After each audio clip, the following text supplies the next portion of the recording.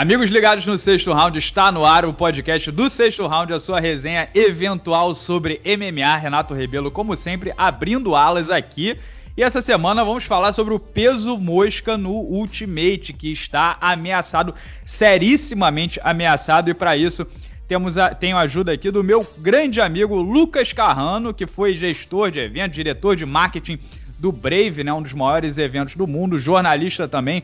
Como vai, meu querido? Fala, Renato, pessoal do sexto round. Tudo bem, cara. Feliz, contente por estar aqui novamente. É uma pena só que as pessoas ainda não possam ouvir essa maravilhosa resenha pré-evento, que ouso dizer é quase tão boa se não for melhor do que o programa em si. É, um dia, quem sabe. E também temos aqui ele, o galã de Niterói, o quase papai André Azevedo. Como vai, meu querido? Maravilha, Renatão, galera boa de luta, Lucas Carrão. Quase papai, não, eu já sou papai, né? Meu filho só não saiu ainda da barriga da mãe. Mas ele tá pronto, pô. Tem que defender minha cria. Pô. Nove, nove meses, André? Nove meses, nove meses. Pode ir. Doce Paulinha pode parir a qualquer momento. Eita ferra, vamos lá. Vamos torcer para que não seja durante a gravação do podcast. Eu descobri que eu usava no meu início da minha carreira, acho que meio por cento da minha mente. E hoje eu tô acho que nos 10. Bom, vamos entrar aqui já no assunto. Davidson Figueiredo nocauteou brutalmente Joseph Benavides.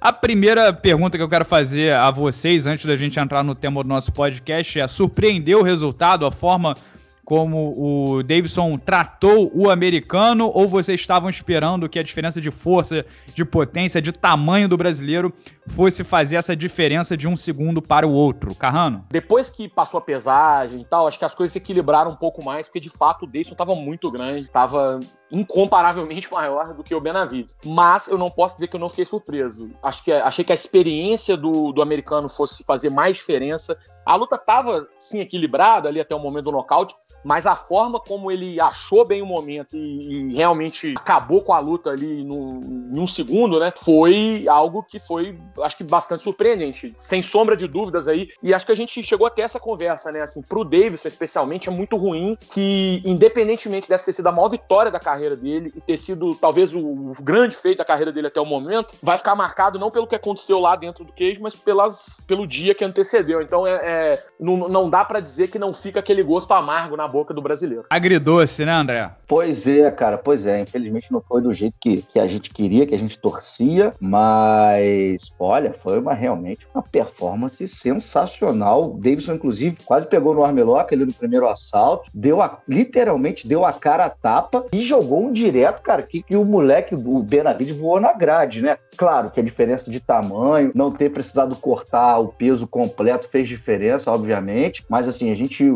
deu para ter uma noção que o Davidson é um peso galo natural, né? cara de 1,65 de altura, tem frame, tem carcaça para jogar na de cima. Infelizmente o cinturão não veio, mas sem dúvida fica esse esse sabor agridoce, né? Um gosto de fel na garganta. Que ele podia ter trago o cinturão pra gente, mas do jeito que foi, olha, realmente tirar para nada. O Joseph Benavides, que é um monstrinho, só perdeu pro Dominic Cruz, Demetrius Johnson. É, mais uma que ele perdeu, né? Perdeu pro Davis agora. Sérgio Pet. Cara, um monstro daqueles, o Benavides, olha, frustrando queda, né? Quadrilzada pesada lá para trás. Deu show o Davidson Figueiredo. Pena que teve esse, esse problema da balança. Carrano, você que já esteve aí à frente de um evento como o Brave, Obviamente você tem categorias mais rentáveis e categorias menos rentáveis. É, quem tá, é, quem precisa fazer a conta da empresa fechar, né, o, o é, retornar o investimento de quem botou grana, né, dos investidores, precisa pensar em maximizar seus lucros e diminuir as perdas. Né? O peso mosca no UFC, na verdade, ele nunca decolou. Teve um cara extremamente. um gênio do, do MMA, que é o Demetrius Johnson, que era fantástico tecnicamente e nocauteava e finalizava. Nocauteou o Henry Cerrudo, nocauteou o próprio Benavides, uh, finalizou Wilson Reis, campeão de jiu-jitsu, finalizou o Origuchi, que depois veio a ser campeão do Rising e do Bellator. Então, um cara brilhante tecnicamente, mas nunca pegou. Talvez um homem muito pequeno, uh, não tinha muito carisma, muita personalidade, era um gamer e tal. Talvez não, não tinha uma simbiose legal com o meio do MMA acabou sendo trocado pelo Ben Askren, que é um cara que já até se aposentou. O Henry Cerrudo, que é constrangedor para uns, mas está sempre ali na boca do povo gerando conteúdo e um atleta também fenomenal, trouxe um frescor, né? É, tentou manter viva manter vivo o peso mosca, mas essa categoria nunca teve é, é, aquele retorno financeiro para o UFC. O Demetrio Johnson foi um dos piores vendedores de pay-per-view da história da empresa. E o Henry Cerrudo, que era ali um sopro de esperança, migrou para o peso galo. É, teve a oportunidade de voltar agora, né, depois da sua lesão no ombro, e disse que prefere lutar no peso galo.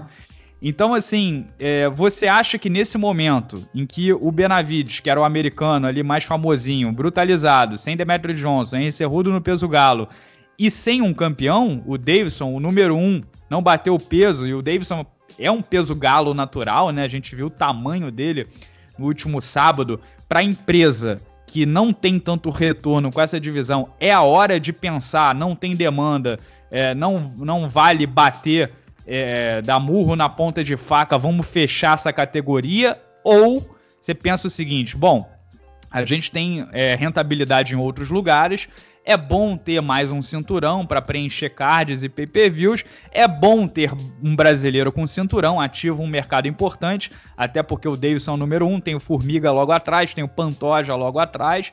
E também, de repente, não vamos dar espaço aí para o concorrente, o Bellator, talvez criar o peso mosca.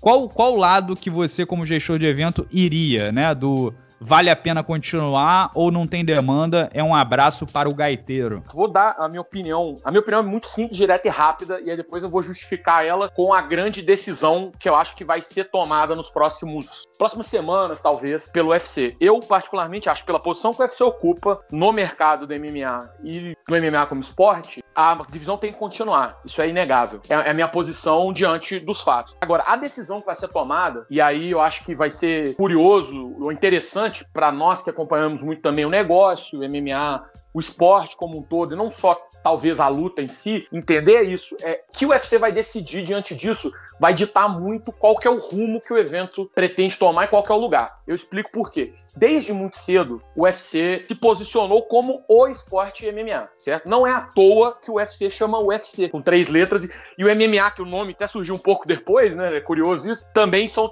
É, é, é proposital para poder criar na cabeça das pessoas essa associação direta, que o UFC é o esporte do MMA. E de fato, o UFC tem uma, um share né, do mercado de MMA que é completamente absurdo. Não, não, não tem como. Esses dias, inclusive, é, liberaram alguns números do Bellator. E assim, cara, em 2016, 2017, quando o Bellator já tava numa crescente muito boa, não, não é papo de 5%, cara. Sabe, assim, é, é, é, é, gritante a diferença. Então, assim. E, entre parênteses, é... até, até recentemente o Bellator dava prejuízo, né? Foi só no. Exatamente. se eu não me engano, a partir de 2018 que eles começaram a virar o jogo. Exatamente. Então, assim, tem isso em 2018 o UFC já estava dando lucro de centenas de milhões de dólares. Né? Então, assim, eles são realmente o mercado e eles se colocam dessa forma. Então, vamos exercer esse poder e essa. É, é vai ser isso. O, o UFC quer realmente ser o esporte do MMA?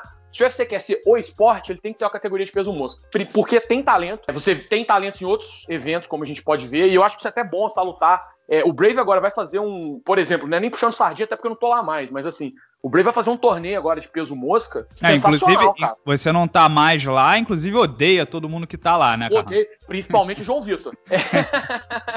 que, aliás, tá no, tá no Brasil de férias. Mas assim, vai fazer um torneio sensacional, cara, com o Zeke Makovs, com o Shorty Torres, com Matheus Nicolau, Marcelo Adu, muito cara bom da categoria, sabe? Então, assim, não é que não há talento, e tem o Dimitri Johnson, que tá no ano, tem o Kyoji Horiguchi, que você já citou, é, é, tem, tem talento, não é que não existam pessoas suficientes, tem muito menos é, peso-pena feminino, por exemplo. E olha que eu sou um grande advogado das categorias femininas, não quero que isso seja mal interpretado. É, então tem que ter. Mas se essa mentalidade só, pô, sabe, se for para fazer estritamente no mundo dos negócios, não é uma categoria rentável. Eu acho que isso vai ser muito, sabe, vai ser decisivo pra gente entender o que, que é esse UFC pós-UFA. Acho que é a primeira grande decisão que o UFC vai tomar. É, por mais que muita gente tenha achado que outras como ah, voltar com o McGregor, fazer fulano disputar cinturão, tudo isso já tinha acontecido antes. Agora, nesse momento, encerrar uma categoria é algo que o UFC ainda não fez. Depois é muito, que ele se estabeleceu. Muito interessante é. esse raciocínio do Carrano, né? De que um evento que tem aí, dizem,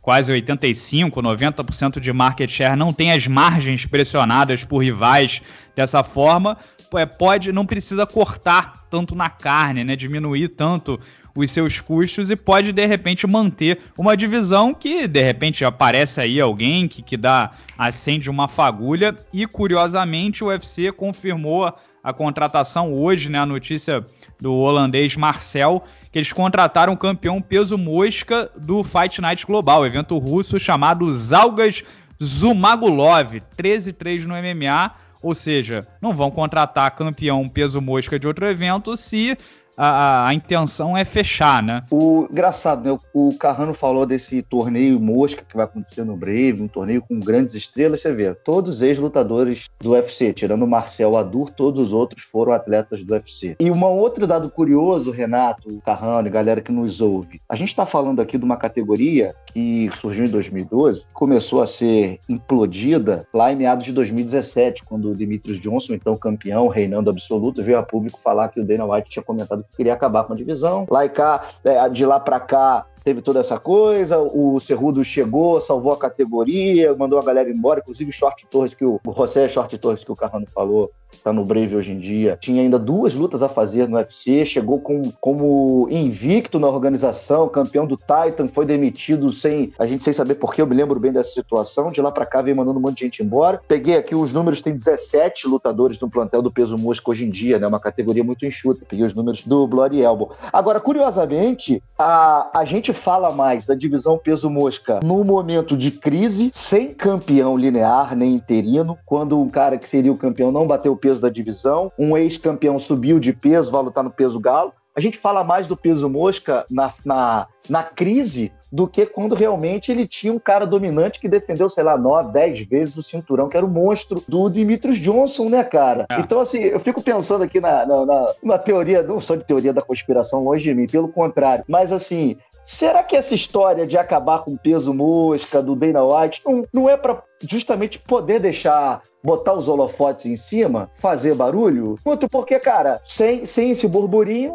realmente a categoria não é, não é tão falada. E, e não por não ter talentos, tem grandes talentos, né? Não é, não é estranho, não é curioso? É, curioso, mas a gente tem que pensar também, André, que quem financia o UFC é o público americano, né? O, o grosso da receita deles é o público americano. E a gente tá aqui debatendo, talvez, o, esse evento porque o Davidson brasileiro nocauteou o Joseph Benavides e a gente está muito carente, né, de um, de um campeão, a gente não tem Uh, campeão masculino, que eu digo, né? A gente não tem desde 2017 e o Davidson, se por um quilo, seria o campeão. Mas será que o público americano, que é o que sustenta o evento, tá nesse mesmo debate que a gente está tendo aqui? Ou de repente eles podem até perder o interesse? Por exemplo, o Davidson foi campeão e o que se falou, né, pelo menos nos fóruns americanos, foi da tradução do Valide, né? I beat you after a weekend of cocaine and prostitutes.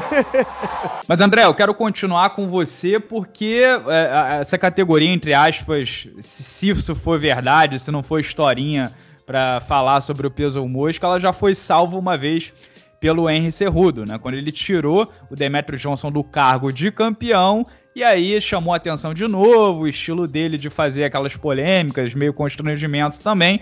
E aí o, dizem que o Cerrudo salvou a categoria. Mas, repito, o Cerrudo teve a chance de voltar para o peso mosca uh, logo depois da luta com o Marlon Moraes, depois que ele teve a lesão no ombro. Ele optou por não voltar para o peso mosca. Então o herói virou vilão, né? E se a gente tá falando disso, talvez, tal, porque o Henry Cerrudo não voltou, porque a, a luta poderia ser é, Cerrudo versus Joseph Benavides e depois Davidson Figueiredo podia ter mais opções. Mas o Cerrudo, ligado também e gosta de chamar uma atenção, disse que topa voltar para o, o peso mosca depois da luta com o José Aldo. O empresário dele, ali, Abdelaziz, disse que ele vai voltar para o peso mosca, ele vai conseguir bater o peso para tentar salvar a categoria, botar o nome da categoria em voga nesse momento aí de indecisão do Dana White. E o Valide Ismail, empresário é, do, do Davidson disse ao MMA Fighting que também topa fazer a revanche imediata com Joseph Benavides no UFC 252 se a empresa quiser. Ou seja, tá todo mundo tentando de alguma forma, ó, não, não acaba com a divisão não, a gente dá um jeito aqui, outro jeito assado. Você acha que o, o Henry Cerrudo pode salvar essa categoria e o resultado da luta com José Aldo no UFC 250 pode é, é, influ, influir muito nessa decisão e talvez essa decisão só vai ser tomada depois do UFC São Paulo? Eu acho sim que o resultado de Cerrudo versus Aldo vai ser determinante para essa descida ou não do americano. Acho que até lá o Dana White não vai, não vai meter os pés pelas mãos, não vai dar declaração de encerramento de categoria nem nada, vai ficar quietinho, vai promover os outros cinturões, outros eventos que vêm por aí, até porque daqui a pouquinho esse assunto vai ser abafado com essas outras próximas notícias, próximos eventos. Então eu acho que se o Cerrudo perder, ele tem chance de descer para o peso mosca sim. Se vencer o Aldo, é, mantiver o cinturão peso galo, eu acho ele descer. De repente isso seja interessante até para a categoria peso mosca, deixar a categoria fluir. Vejo com bons olhos uma revanche do Davidson contra o Benavides, mas eu acho que o Davidson poderia ter dado essa revanche ainda em cima do octógono. Perdeu a oportunidade, pedir desculpas ao Benavides e dar a revanche imediata na hora. Mas se o empresário dele depois voltou atrás e falou isso em público, eu acho bacana, acho uma boa. Se não rolar essa revanche imediata, tem alguns confrontos que a gente que a gente pode casar pro brasileiro e pro top da divisão ali. É, o Davidson perdeu uma grande chance ali de dar continuidade à narrativa, né? De aproveitar ali o octógono, o microfone, em vez, ao invés de, de pedir desculpa e tal, passou, né? Falou, ó, foi mal pelo peso, mas Henry Cerrudo, te aguardo aqui, né? Alguma coisa assim para criar já um factoide para tentar tirar um pouco o lance do assunto de se ele não ter batido o peso, até não bateu por muito, né? Mas eu concordo 100% com o que você falou, André. Eu acho que vai depender do resultado de Henry Cerrudo versus José Aldo. Porque se o Cerrudo vence o José Aldo, ele vai pro Volkanovski, ele vai, né? Aí ele vai pintar e bordar, né? O cara vai estar tá com a faca e o queijo na mão, ele não vai voltar para bater 57 quilos para pegar o Davidson, né? Aí ele vai, ele vai querer ser o primeiro ter, é, cara ter três cinturões ou qualquer coisa do tipo, pegar o Dominic Cruz, uma coisa, né, mais chamativa para ganhar mais dinheiro, né? Agora, se ele toma um pau do Aldo, se ele apanha legal do Aldo, ele quer um peso galo pequeno aí, talvez tamanho médio, aí faz sentido dele voltar a tentar ter um cinturão, recobrar, fazer a luta com o Davidson. Ficou claro isso, né? Ele só continua campeão da, da categoria porque o Davidson bateu o peso e venceu a luta, senão ele não era, né? O cinturão tá ali vago, mas o UFC é, meio que rejeita falar que tava, até antes da luta eles estavam dizendo ainda, é, não, que o Cerrudo ainda é campeão, ele só vai deixar de ser campeão na hora que o cinturão foi entregue, rolou uma conversa meio assim na, durante a Fight Week, então acho que tá uma situação meio nebulosa nesse ponto, e aí vai influenciar o caminho, mas a decisão em si eu não acho que, que o Henry Cerrudo vai ter esse poder todo de falar assim: olha, a decisão tá nas minhas mãos, se eu é, ganhar essa luta e não voltar, essa decisão não existe sem mim. Eu não acho que, que eles enxergam dessa forma, até porque a, a, o papo todo de, de, de acabar com a, com a, divisão e tal rolou mesmo com o título dele, com essa mudança de comportamento abrupta dele para essa persona um pouco mais, né, falastrona, etc e tal. Então não acho que, que vá ser o poder todo. Mas, obviamente, né, é, dependendo da luta dele com o Aldo, aí sim, vai ter ele no futuro da divisão, que eu acho que caso ele perder, acho que faz. Agora, se ganhar, 0% de chance. Não, não, vejo a menor, sabe assim, não tem, ele não tem o menor interesse, porque não tem nada a ganhar, né? Não faz sentido. E sendo empresariado pelo Abdelaziz, aí sim que ele não vai dar passo em falso para poder colocar em risco aquilo que já conquistou. Imaginando que o UFC é, resolva dissolver o peso mosca, provavelmente o pessoal ali de destaque, não, top 5, talvez top 10, até porque não tem muita gente nessa categoria, vai subir pro peso galo. Peso galo vai ficar ainda mais turbinado. E aí, assim, o que, que você acha que essa rapaziada? Você acha que eles conseguem se virar na categoria de cima? O Joseph Benavides, que é, já, já não é grande pro peso mosca, né? Imagina pro peso galo. O Davidson já é um cara aí do, do porte do, do, do, da galera de cima. Você acha que eles iriam bem? E você botaria o Davidson já num Tyro Eliminator, de repente com Peter Young, alguma coisa assim, o Tyro Shot direto? O que, que você faria? Ó, eu acho que o, o, ponto de corte dessa categoria é justamente o Davidson pelo tamanho. 1,65, para a galera ter uma ideia, o Aldo tem 1,68, o Marlon Moraes tem 1,67 e Davidson tem 1,65. Eu acho que Formiga, o Moreno, é, essa galera ali do top, o Benavides fala, eles não têm frame para peso galo, não. Eu acho, então, que poucos serão aproveitados na divisão de cima. Primeiro, eu acho que não vai acabar a categoria peso mosca, tá? Eu acho que não vai. Mas se acabar, eu acho que poucos serão aproveitados na de cima. E acho que o UFC não vai dar essa moral pro Davis, colocá-lo já com um topzera, assim, da categoria, title, title eliminator, não vai, porque, assim, tem muita gente ali na de cima, né, cara? Tá muito engarrafado, tem muita gente boa que tá esperando a oportunidade oportunidade. Tem o Sterling, tem o Petrian, tem o Marlon que tá na de fora, tem toda a confusão dele com o Aldo, histórico, uma narrativa bacana, tem o Aldo com o Cerrudo pelo cinturão.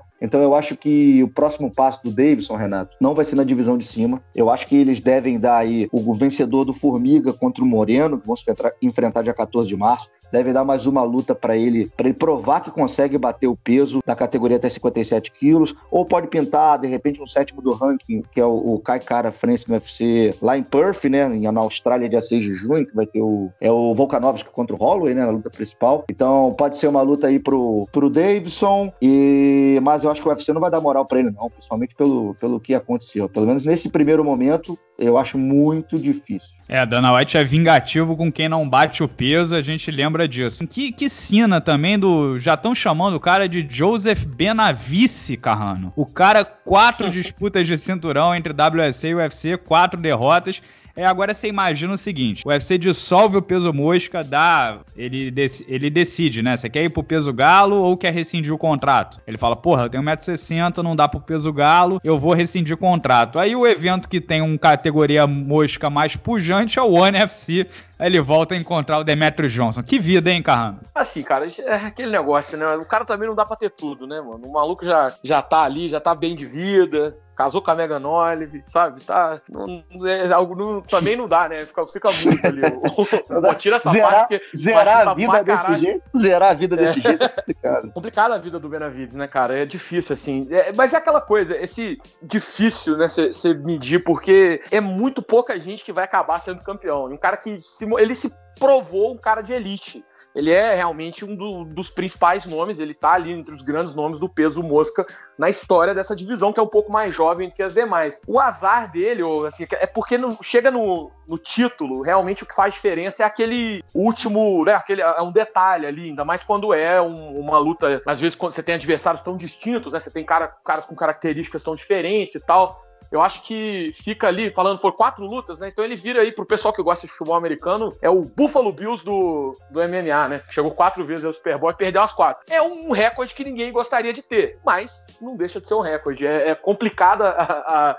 eu imagino que isso vá acumulando, se ele vier disputar mais uma, a pressão fica um pouco maior, isso acumula, fica um pouco mais difícil, mas ao mesmo tempo dá para ver o copo meio cheio também, assim, o cara é realmente um dos grandes nomes ali, só falhou realmente, ou só não foi bem sucedido naquele último passo, realmente, naquele último ajuste ali, que é o, a, a, disputa de cinturão, a luta mais importante, onde você vai é, concretizar essa caminhada toda. André, pinga fogo para terminar. Se tivermos Davidson Figueiredo contra Triplo C, em quem estaria seu dinheiro? No peso mosca? Isso. Ah, no triplo C, né? Davidson é muito bom lutador, mas o Cerrudo é, é o Cerrudo, né? Tá, tá ali um, tá um patamar acima o Henry Cerrudo para mim hoje. Outro, outro patamar. Seria, seria uma grande luta, né, pra, pra valendo o cinturão de fato aí do peso mosca, Henry Cerrudo versus Davidson Figueiredo. Talvez se o José Aldo vencer, a gente pode ter, e Dana White estiver com de bom humor, a gente pode acabar tendo isso. Sobre o Cerrudo, né, que vocês iam dizendo, é que teve aquela derrota decisão dividida, né, pelo, pro, pro Benavides também, mas a, a, até o momento que ele tava invicto, chegou a disputar o cinturão, a derrota que ele sofreu sofreu foi por nocaute. Então, assim, embora ele seja um cara bom com as mãos também, tudo ali, é, isso eu acho que talvez o estilo do Davidson possa. Eu também, pelo amor de Deus, tá? Não tô aqui falando que eu ia pegar os 25 reais que eu tenho na manchete do jornal. Lucas Carrano afirma: Davidson vai flambar o triplo C. A minha manchete é se, vai flambar, se o Davidson não nocautear. Se David não nocautear, vendo minha casa e dou o dinheiro pra. Não, não, lógico que não. Agora, Mas pela, eu acho que há Pelo amor de Deus, Carrano, nessa luta, imagina se os dois não batem o peso. É uma possibilidade, hein? Aí ia ser o cinturão. É o quê? Que você ia ter que fazer um cinturão um pouco mais pesado, ia ter que inventar alguma coisa ali, né? Do cinturão entre o peso mosgalo, ou, enfim, o galo come mosca, alguma coisa, vai ter que pensar em alguma estratégia. Bem bolado, bem bolado. Só de, só de, cabeça, o, o Henry Cerrudo tem o quê? 30 pounds? 40 pounds? Só de É. coco. A cabeça do Cerrudo era pra estar no corpo do Overeem e a cabeça do Overeem era pra estar no corpo do Cerrudo, concorda? Trocaram. É verdade. Eu acho que essa luta do Cerrudo com o Davidson pode acontecer sim, mas eu acho que não é a próxima luta do Davidson, porque o timing, que é, apesar de todo o problema do, do peso, tudo que o Davidson teve, o timing tá a favor dele, porque ele lutou agora, março. Eu acho que ele vai fazer mais uma luta para confirmar se ele bate o peso do Mosca, que seja contra o Formiga ou o Moreno, quem vencesse, seja contra o cara, o que cara France lá em junho. O Cerrudo vai lutar em maio, então possivelmente vai lutar só fim do ano depois. Se o Davidson faz mais uma luta, bate o peso, legal, chama bem no microfone, vence, aí a gente tem uma luta a fazer. É, claro, se o, o Cerrudo perder pro Aldo em maio, a gente tem uma luta bacana para fazer pelo cinturão até 57 quilos. É uma É, narrativa legal, né? E falar bem no microfone é fundamental. Aprende uma frase só, nem que seja um Henry Cerrudo, I will fuck you. Pô, beleza, que seja. Fuck Chuck. Seja fuck É, cara, Chuck, irmão. Fuck Chuck. né? O, ele tava muito emocionado ali, cara. Ele tava realmente ali emocionado com a situação ali. Acabou falando coisa que nem devia, falou da cabeçada ali, né? Ficou um troço meio esquisito. André, aliás, é, e diz pra gente lá o lance da cabeçada, da luta manajoara, que você entendeu um pouco diferente da, da gente, né? É, assim, não é que eu entendi um pouco diferente, né? O, da luta marajoara, esse termo cabeçada, eles usam para definir a entrada de queda ali no double leg. Né? Depois da, da entrevista, né, fora do, do octógono, o Davidson e a equipe dele fa- falaram que eles- o termo que ele usou da cabeçada ali foi, foi nesse sentido. Tá? Alguns entenderam que isso foi uma forma de dar uma desculpa, que quando quando ele falou cabeçada, pô, deu uma cabeçada nele, passou no telão um choque de cabeça acidental. Então a coisa ficou meio no ar. Eu não posso cravar que foi uma coisa nem outra. Mas fato é que realmente cabeçada é um termo que a galera da luta marajoara usa para entrada de queda. Não só cabeçada, né? Cabeçada, lambuzada, tem uns termos meio curiosos, né? Lambuzada. É, Complicado. pois é. É, meio, meio Beto Barbosa essa expressão. because I want to fuck, I want to fight with Chuck here.